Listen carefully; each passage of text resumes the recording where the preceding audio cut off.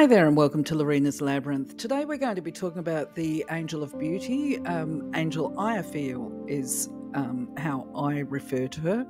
In fact, actually, I struggle over the pronunciation of the name. So it could be Iofiel, it could be Iofiel, it could be Oiphiel, I'm not sure. But whatever uh, pronunciation is the one that you're comfortable with, that's all that's important. And not only that, you don't have to call her by the name that I give you, you can actually just call her the Angel of Beauty. So, anyway, before I go ahead speaking specifically about the information that she can give to us, I'd like to say thank you for clicking on the video and being part of the journey. Um, I invite you to leave your own comments, your own understandings and experiences, or anything else that you might make to uh, wish to make uh, public if you like. I always do read the comments, even if I don't respond to all of them, and even if I don't respond to all of them straight away. And I generally will do this on the Sunday video, which is called the yarning video. And just a reminder, we do have the Angel playlist, and um, I'm going to continue to build it out. So at the moment, we've got because Iofiel the Angel of Beauty is the second of the Angel videos that I'm loading. There will actually eventually be about 50, perhaps more videos, but at the moment we've got the Archangels, we've got the Angel of Knowledge, and now we have the Angel of Beauty. Iofiel's name means beauty of God, and she reminds that everything is that is natural is both beautiful and eternal.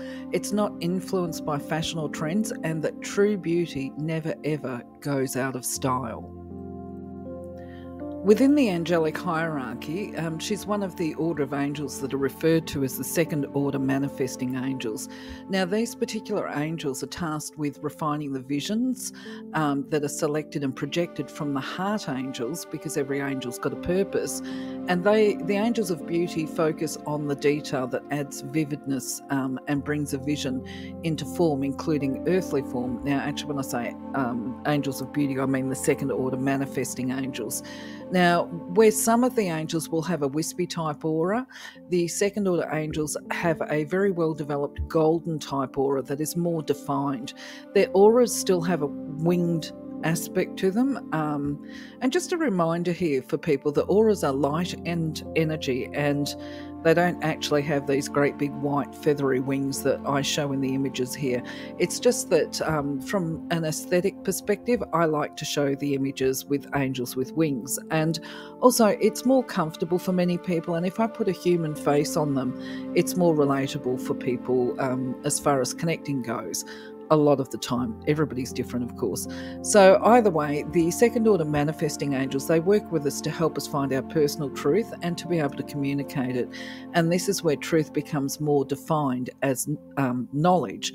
People can be working with the angels of knowledge, for example, in different ways. Um, it's not always easily identifiable um, because people exhibit as per their own um, natural leanings, shall we say. And if a person is in denial of angels, they may not be aware that they're actually working with them. But there is always this undercurrent that happens in our lives. Now, when it comes to the angels of beauty, we. Um, a person can be living with the angel or living and working with the angels of beauty even if they're living in a cluttered environment all that is happening is that they're repressing um, those aspects of beauty that are in their environment.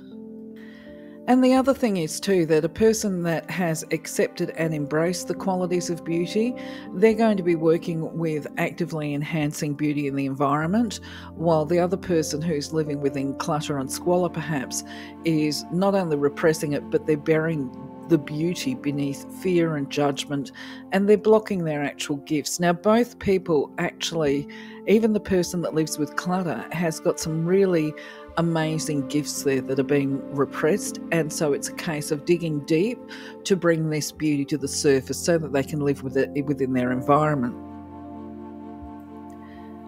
It's basically when we see them working with or against we're seeing actions for the person that is blocking their gifts that are incongruent, shall we say. They still have to recognize and heal their vulnerabilities and their weaknesses to be able to embrace the gifts of creativity and beauty. So, the primary message of Iofiel is that basically she reminds us that the creator or the beauty of the creator and creativity and creation often lies hidden within the depths of our material wor- worlds. Um, we're often so distracted by what's happening around us and focused on these superficial aspects of life that the true beauty of life remains hidden. So she encourages us to look below the surface when we're looking at others and to go beyond this outward appearance um, that we see, the superficial, and connect to each person um, that part of them that is the eternal truth. It's the part that some people call the inner spark or the namaste that lies within. And this means that when you're interacting with other people, you're actually recognizing them for who and what they are. And in this way, you help them to feel heard and to be seen, and you assist them to become aligned with their own truth. So it's dig beneath the surface and connect with that inner spark in other people. So, this divine essence, if you like, of the Creator, this is the part of us that responds to things such as art, poetry, books, and music. And when we respond to the energy of these things, we're responding to the essence of the crea- creator, not just the human creator, but the energy of the divine creator. Um, so it's multiple layered, shall we say. And words can never actually do justice to the experience of the divine and true beauty, as you will know yourself. We can try to explain it, but unless unless a person has an experience of it, they're just not going to understand it. And this is why it becomes difficult to try and explain spirituality and connection and the interaction be, between the divine and the light beings or spirit, because words are very limited as descriptors. We cannot express the vibrancy of colours. Just a prime example. Um, just in life in general, if you think about a situation, for example, I've put this image of a flower up here. When we try to apply our individual um, understanding or recognitions of this particular flower, um, it's going to be quite difficult. And this is, for example, we see shades of yellow differently and we use descriptors. So somebody might try and describe, I wouldn't use the word mustard yellow for the centre of the flower here, but for somebody, if they were trying to describe this flower, they might say, oh, it's got um, a mustard colour of the centre, but then it goes kind of sunshiny or butter yellow or whatever. It all becomes very ambiguous. And the words just do not do justice to the image, let alone the experience. But when we look at the flower, we can actually see this divine perfection in it. It's just amazing. So, if you allow yourself to look at this flower and to appreciate it, it's going to convey a feeling to you. So, it is the feelings that are the measure, if you like, of what beauty is um, or how it creates something within us or appeals to our divine essence. And this goes the same for all beauty, right? True, be- true beauty can only be comprehended, can't even speak, comprehended and understood through this emotional response and appreciation.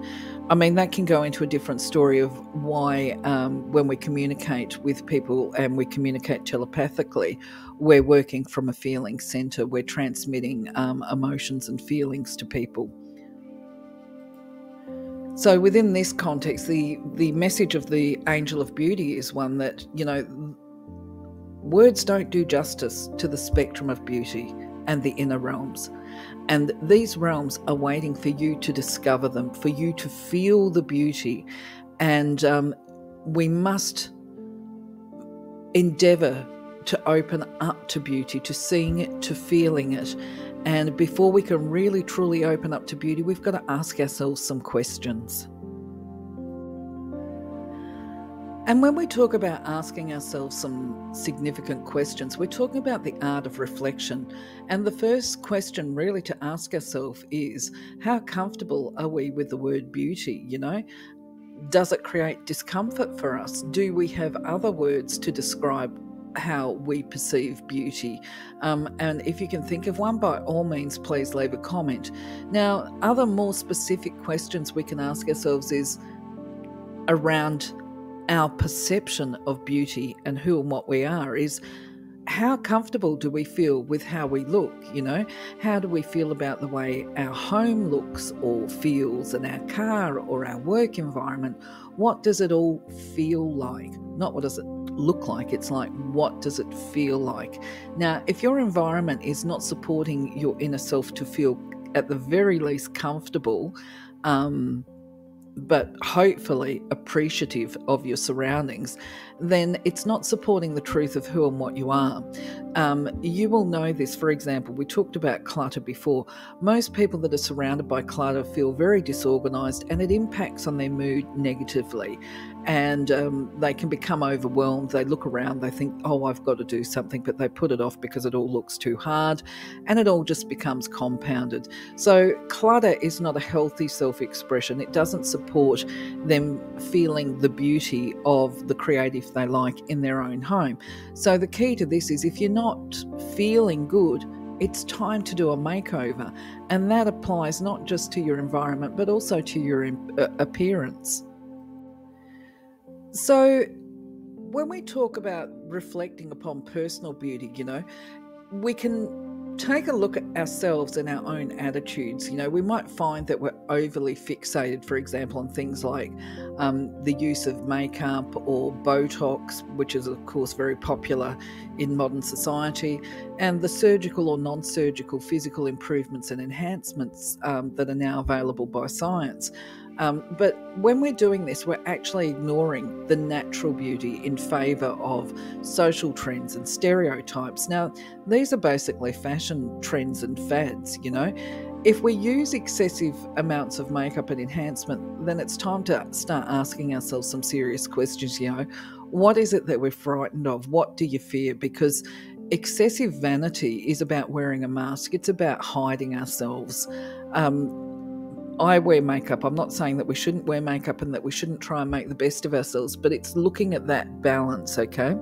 The way we heal ourselves from uh, pride and vanity is actually to take some actions. And we can start by if you're an overuser of makeup and enhancements, try cutting back to the bare minimum. Um, try using simple clothing or simple hair, simple face and nails, allow your natural beauty to shine. Um, an example of this too is if you're naturally grey and you're dyeing your hair all the time, perhaps it's time to allow your natural grey to show because there is a beauty associated with aging because as we age, um, our features start to soften. Um, and just a reminder, you don't have to stop all the enhancements. Just try uh, the suggestion would be try to allow yourself to be comfortable with your natural beauty instead of hiding who and what you are behind this false layer and mask. It's really important for everybody to find their own beauty standard of what they think is beautiful for them as well. And this is about a balance, I guess, because where we can have people that are so obsessed with the external appearance that they are wearing this ongoing mask and layer of material, fabric, color, whatever, um, injectables, and this kind of thing. On the other side of the spectrum, we have people that pay absolutely no attention to their appearance and um, they can neglect themselves quite a lot.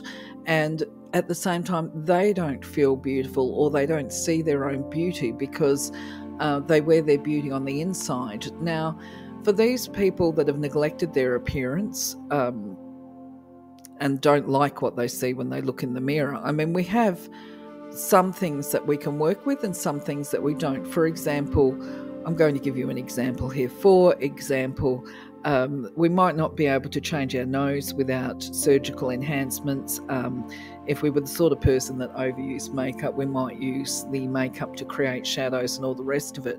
Or we could just accept that that is our nose and it's beautiful and it matches all the features of our face. But somebody that neglects their appearance might perhaps um, not moisturize their skin or not have a skin routine and then it starts to go a bit dull. So um, you know, it needs to have an exfoliation or whatever. So these are signs of neglect.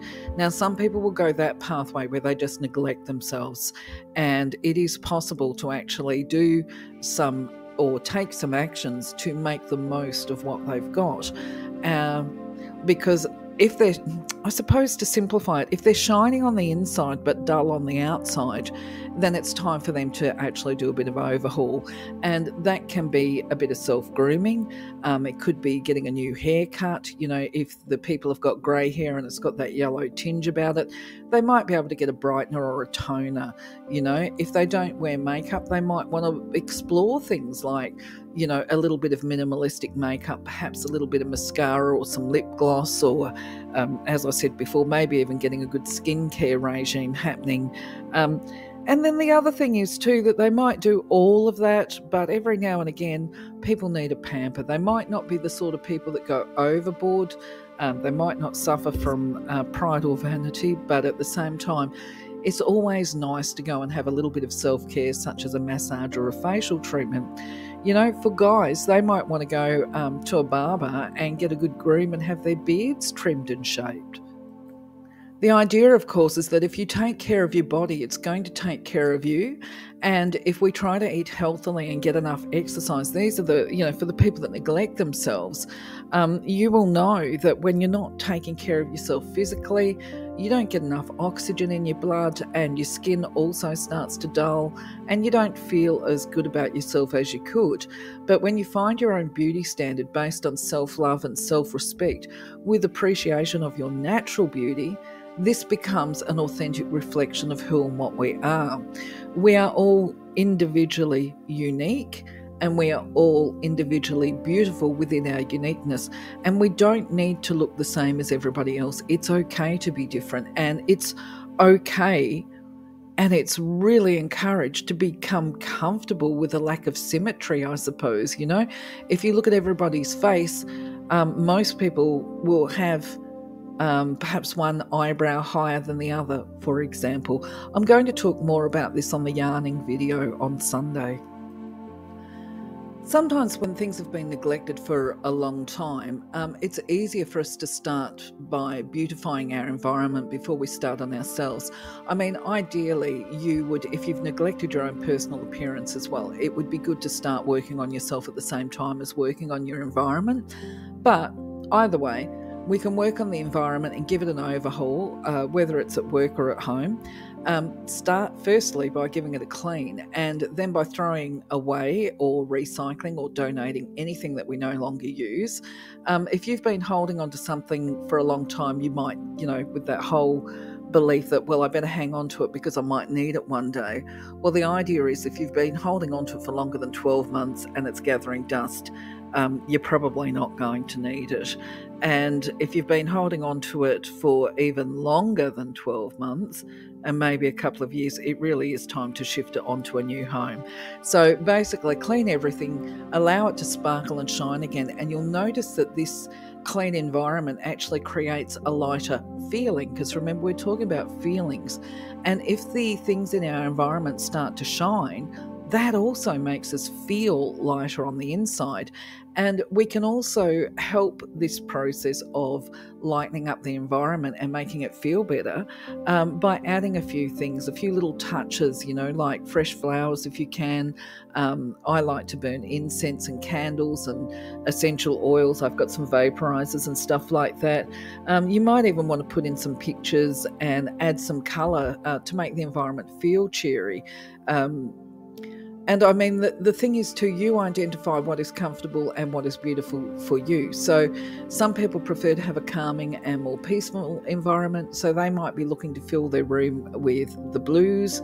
Um, somebody might be trying to create an atmosphere that's cheery and they might look for colours like the oranges and the pinks. It's whatever you need to help you to feel at peace. Now, you would be encouraged through this process, of course, to invite and invoke not only the angels of beauty, but also the angels of blessings, such as Amarashaya. We've got her video up as well, and to do a little ceremony as you clear the space. Now, if you've got a big space to clear, like you've got a whole house full of clutter, you would be encouraged to start one room at a time, and perhaps bless each room as you go through the process. So, another consideration for reflection is, of course, as I make these suggestions to you of what you can do to um, beautify your environment or how you can uh, increase your feelings of being beautiful and appreciate your natural beauty, I can sort of hear in my mind um, or my imagination people turning and saying, well, yes, that all costs money, doesn't it? You know, if you want to go to the beautician, have a pamper, you're going to have to pay for it, which is quite true. Okay. And yes, if we want to buy product, for our skin, um, we've got to buy it. It's relying on money, and not everybody's got money. But the whole thing is, too, that just because we don't have money and we can't afford these things doesn't mean that we're not able to do what we would like to do or to be able to. Um, to appreciate and create beauty in and around us. And this becomes the opportunity to look at, you know, what is this belief in money as underpinning um, in our entire belief and perception in beauty and creating beauty. We don't have to have money to be able to appreciate beauty. We can actually be very creative. We can be resourceful. You know, for example, when I say put flowers in your garden or, or in your room, um, well, you might not have a garden, but at the same time, you might be able to create um, a potted plant garden. Now, this is why I've put this image up here. We don't have to go and pay for planters. We can actually recycle and we can take cuttings from plants and trees and flowers if need be, so that we've got this ongoing resource that we can reach into if we want to use it. There's many ways that we can um, create beauty that is, you know, because beauty is obviously personal. There's that old saying that one person's trash is another person's treasure. So you're going to be able to find things um, at secondhand shops or trash and treasure stalls and all the rest of it that you can actually use um, for very low cost, get them quite cheap and put in your house. Now, the other way of actually being resourceful is having a chat to your neighbours because quite often they're recycling stuff or they're donating and this kind of thing. And if you have a chat with them, they might have something that they no longer want or need.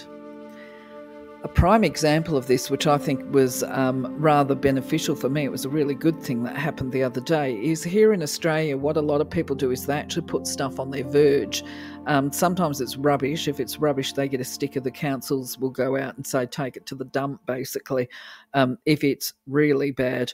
But a lot of the time, people will put out stuff that they no longer want. Like on one side, I've had um, the neighbours put out a little scooter that her child has grown out of. It's now too big for. So they've left the scooter on the verge so that somebody that's driving past might see it and they might be able to have a use for it. And so they pick it up and take it with them.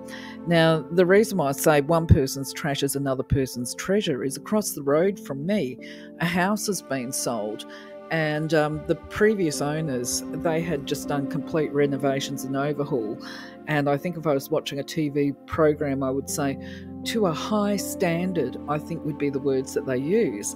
Nothing was cheap about their renovations. Well, I just happened to be getting in my car to go out when the new owner walked outside with this amazing light fitting under her arm.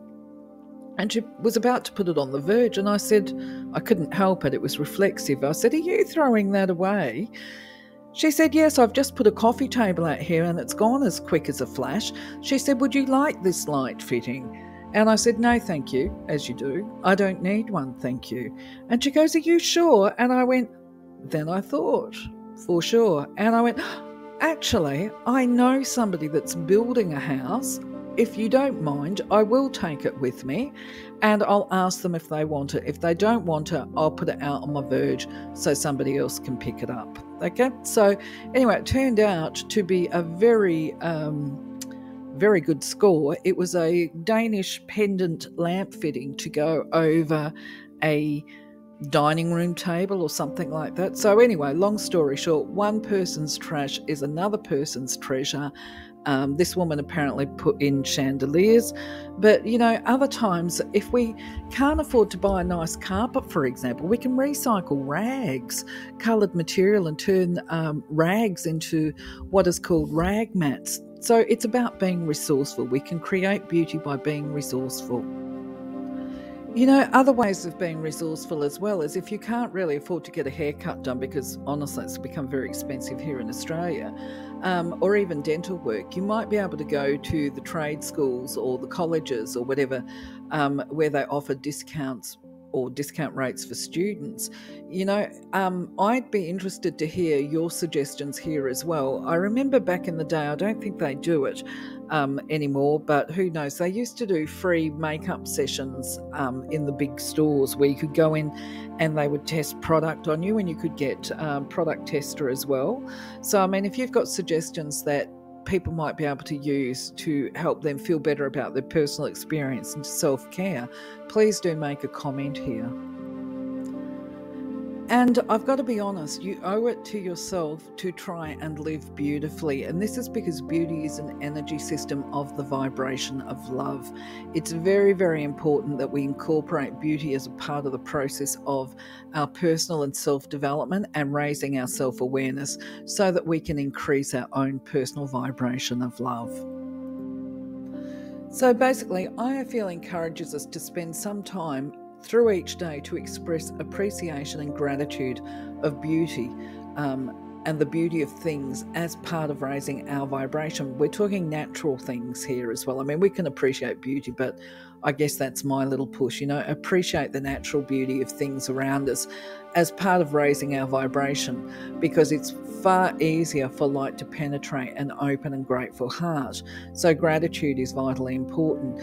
Now, as we're able to do this, we become closer to the Creator, the angels, and their exuberant energy and nothing compares to this energy. So you're encouraged to invoke the Creator, always the Creator first, God by whatever name you call him, her, um, and Iofiel to open your heart and your mind to observe, notice, receive, and respond to beauty, and to actively seek to create beauty in your life, and then open to prepare to feel this wonderful energy. And um, you will you won't even need to prompt yourself to demonstrate gratitude. You will just be so grateful for the abundant beauty and blessings in your life so, in regard to Iofiel, this is all that I can give you today. So, I'm going to call it to a close as part of trying to make this video shorter. I wish I could do it quicker. I'll have to stop waffling. Anyway, what I'm going to do is this Sunday in the yarning video, I'm going to actually do the chitter chatter section. And when I say this Sunday, that's April the 28th. And I'm going to be talking about beauty um, as part of the chitter chatter. Um, because I think it's important in these modern times. Uh, but for now, I'm going to say, look, thank you very much for being part of the journey. Before I go, do tell me, let me know. Feel free to write a comment. What do you think of this image here? I'm actually really pleased with it. It's an AI image and it's not actually enhanced by any other digital stuff at the moment. And I believe it's come out surprisingly well. Um, what do you think? Is this the kind of angel image that you like? Because obviously, I'm going to be creating a lot more of them.